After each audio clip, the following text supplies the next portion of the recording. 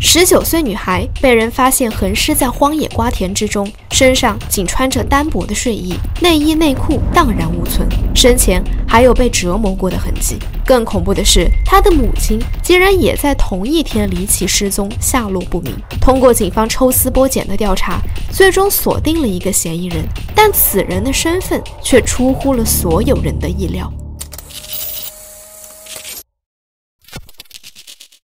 二零一四年二月二十五日早上六点，河北省邢台市柏乡县农民老李起了个大早，准备去自己的地里打理西瓜秧。经过田边的一处树林时，他看到地上好像躺着一个人，心想或许又是哪个酒鬼喝醉了不省人事。可当他走近一看，却发现了不对劲的地方。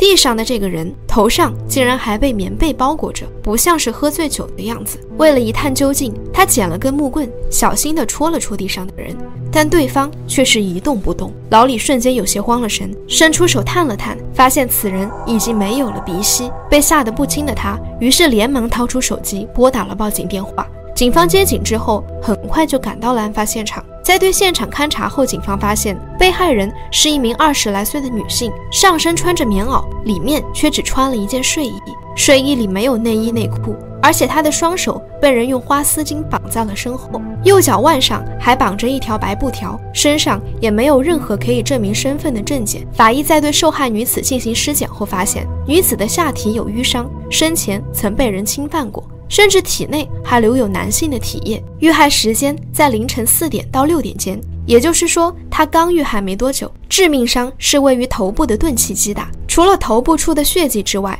他全身其他部位并没有任何血迹。身穿睡衣，遇害时间又是凌晨，警方觉得这个女子应该是从家里被挟持来的。当时她很大可能是在睡觉，极有可能是熟人作案。嫌疑人挟持她后，把她放到车里，下车后。带着他来到了树林里，并在这里将他杀害。这也能解释为何死者是穿的睡衣了。之所以推测凶手是用车把受害者带来的，那是因为只有车辆才能够进出高速公路，行人是无法上高速公路的。那么下面要确定的就是女子是从哪里被挟持来的。警方先是在发现尸体的地方进行了走访，但附近的民众都说他们不认识死亡的女子，这说明她不是本地的。不是本地的，怎么排查他是如何来这里的呢？警方决定通过车辆来排查，看看二月二十五号凌晨的四点到六点之间，这个区间有多少车经过失源地。主要查从北向南行驶的车辆，因为遗体是在高速公路的西侧发现的。经过排查，警方发现，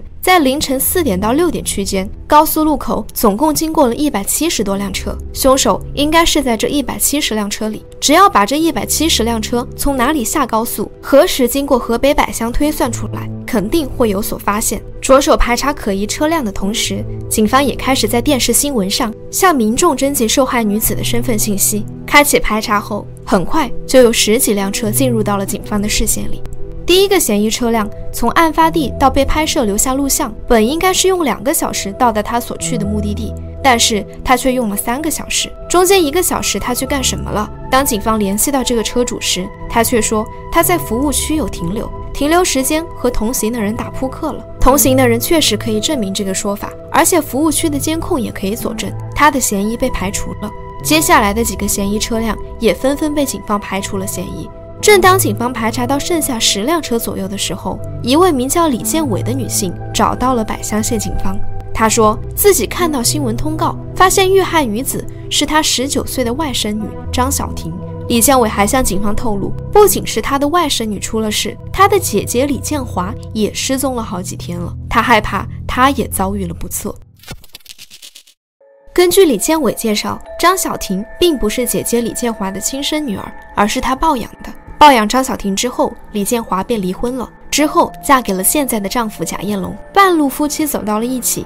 按理说应该是更加珍惜这份感情才对，但根据李建伟的描述，姐姐李建华与姐夫贾彦龙的生活总是磕磕绊绊，并不幸福，两人经常吵架。张小婷高中毕业后也没有再读书，在老家元氏县开了家小店，从事服装生意。她还交了一个男朋友，但却遭到了全家人的强烈反对。为此，张小婷还曾多次与家里人发生争吵。还说要和男友私奔。这些年来，李建伟一直和姐姐一家保持着密切的联系，但从二月二十五号开始，他就再也联系不上姐姐和外甥女了。他也曾到姐姐家里去找过，但姐夫贾彦龙却告诉他是张小婷的男友带着张小婷与李建华离开了。之后，李建华就在电视新闻上看见了外甥女张小婷遇害的消息。按照李建伟的这个说法，张小婷的男友可谓是嫌疑巨大。于是，警方立刻便找到了张小婷的男友配合调查。可张小婷的男友却告诉警方，因为家里不同意他们的婚事，他与张小婷早在二月二十三号就分手了。分手之后，他再也没有见过张小婷。他也没有想到，二月二十五号，张小婷居然遇害了。为了证明自己的清白，他还把自己二十四号、二十五号的具体行程都告诉了警方。警方经过核实，发现张小婷的男友确实没有撒谎。于是便排除了他的嫌疑。那如果凶手不是张小婷的前男友，又会是谁呢？很快，监控中的又一辆车进入到了警方的视野。在案发时间段，有一辆奥拓车曾经驶过案发地。警方调查发现，这辆汽车登记的车主正是消失的李建华。而据李建伟所说，这辆车平时都是姐夫贾彦龙在开。警方随即便对贾彦龙展开了调查。不查不知道，一查吓一跳。贾彦龙曾经还因为强奸罪被判处过七年的有期徒刑。就在警方寻找贾彦龙下落的时候，李建华又向警方传来了消息，称姐夫贾彦龙给他发来了短信。短信中称，李建华为了更好的生活离开了他，女儿张小婷也要嫁人了，让李建伟不要找他们，并且要求李建伟给贾彦龙转五万块钱，帮他渡过难关。可张小婷已经遇害了，很显然，贾彦龙这是在瞒天过海。他知道张小婷和李建华都已经不在人世了，他这样说就是不想让李建伟再找他们母女二人了。他就是警方寻觅已久的杀人凶手。警方决定将计就计，随后李建伟与贾彦龙约定了见面的时间地点，并承诺会给他五万块现金。按照约定，贾彦龙果然如期出现在了见面地点，被埋伏的警方一举抓获。被带回到警局之后，在审讯室中的贾彦龙并未做过多抵抗，很快就向警方坦白了自己的罪行，承认自己已经将妻子李建华杀害，并且侵害夺命了自己的养女张小婷。一家三口，两个人都死在同一个人手中，而且凶手竟然是被害者朝夕相处的丈夫与继父贾彦龙。究竟为什么要这样做呢？一切还要从这个三口之家开始说起。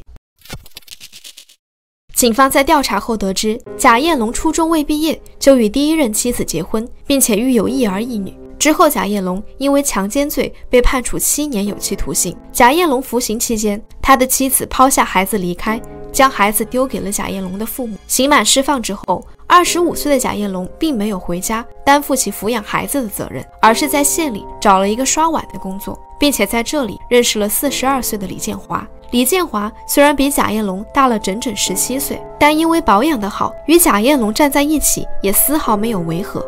两人恋爱了一段时间后，离异的李建华便带着三岁的女儿张小婷和贾艳龙生活到了一起。但两人没有领取结婚证，只是在一起搭伙过日子。起初，这一家三口的生活还算甜蜜，但渐渐的，李建华的脾气开始显露，烧饭、洗衣服、带孩子的活。都是贾艳龙在负责，这让贾艳龙觉得自己就是个下人。但因为他之前的行为已经失去了一个家庭，所以这一次贾艳龙选择了忍耐。后来，贾彦龙换了一份货车司机的工作，家里的生活也得到了很大的改善。但好景不长，贾彦龙的亲生女儿出嫁时，夫妻俩之间的矛盾再次爆发。李建华掌握了家里的财政大权，在贾彦龙亲生女儿的人生大事上，李建华竟然只给了一个一千六百八十元的红包，这让作为父亲的贾彦龙觉得颜面尽失。为此，贾彦龙对李建华产生了怨恨。但直到这时，他还只是在默默忍耐。张小婷长大成人后，也找了个男朋友。李建华嫌弃张小婷的男友是离异家庭，死活不同意两人恋爱。张小婷却觉得，只要对方对自己好就可以，家庭并不重要。母女二人经常因为这个事情吵架，但最后李建华却将矛盾转移到了贾艳龙的身上，认为都是贾艳龙教育不当，才导致张小婷交友不慎，每天累得要死，下班也没有个安生。贾艳龙的不满已经快要到达极点。案发前一天晚上，因为张小婷恋爱的事情，母女二人又开始了争吵。贾艳龙为了逃避，选择了出门喝酒。到了深夜回来的时候。张小婷与李建华已经睡着，但贾艳龙却根本没有任何睡意，依旧在客厅里喝着闷酒。想着这十六年来自己遭遇不公平的点点滴滴，贾彦龙越想越恼火，于是脑海中冒出了一个邪恶的想法：既然不想好好过，那就干脆不过了吧。于是趁着酒意，贾彦龙拿了一把锤子，解决了熟睡的妻子李建华，并将他的遗体丢弃在了离家不远的下水井内。回来后，他又将毒手伸向了熟睡的张小婷。贾彦龙认为家里不安的罪魁祸首就是张小婷，于是他顺手戴上了自己平常保暖戴的棉帽，走进了张小婷的房间，掀开了她的被子后，开始行不轨之事。张小婷被弄醒后开始反抗，但被贾彦龙一拳给打晕了。之后，贾彦龙对张小婷进行了侵犯。做完一切后，贾艳龙给张小婷穿上睡衣，套上一件李建华的棉袄，撕下了床单，堵住了张小婷的嘴，并绑住了她的手脚。之后将其胁迫上了车，并开车上了高速。等他开车到了百香县的时候，天已经微亮。他将张小婷胁迫到了高速路边的小树林中，将其谋害。慌忙中，他丢弃了自己的头套。之后，他又自导自演，给李建伟发送短信，想要从李建伟这里拿到一笔钱，然后跑路。至此，这桩案件算是彻底侦破。早知今日，何必当初？这是贾彦龙被抓之后说的一句话。然而，这样的懊悔却已经为时已晚。因为酒后的冲动，他最终杀害了与他朝夕相处十六年的妻子与养女，简直是残忍又可怕。贾彦龙七十多岁的老父亲，在得知儿子杀人之后，年迈的他眼含热泪，止不住的叹息，对着警方说了这样一句话：“就只当下地狱了。”轻了。最终，考虑到贾彦龙的多次犯罪行为及其严重性，法院决定对贾彦龙数罪并罚，判处死刑，立即执行。那么，关于这桩案件，你有什么想法呢？欢迎在评论区和我们互动讨论。如果喜欢咱们的内容，记得点赞、订阅频道哦，打开小铃铛，第一时间接收上新消息。感谢收看本期超级侦探，听离奇案件，品百味人生。我们下期再见。